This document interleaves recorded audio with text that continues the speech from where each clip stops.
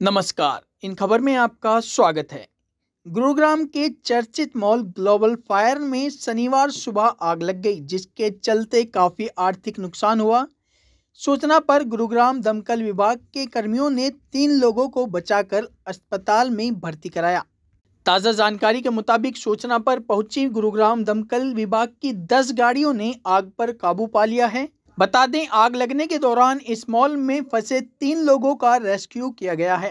तीनों को दमकल विभाग और गुरुग्राम पुलिस ने अस्पताल में भर्ती कराया, जहाँ उनका इलाज चल रहा है। तीनों लोगों की हालत स्थिर बताई जा रही है।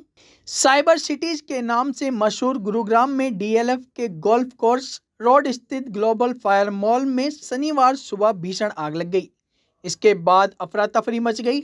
हालाँकि दुकान बंद थी, दुकानों में आग लगने के कारण आर्थिक नुकसान काफ़ी हुआ है। जानकारी के मुताबिक मॉल में एक दफ्तर में आग लगने के चलते दो शोरूम भी इसकी चपेट में आ गए।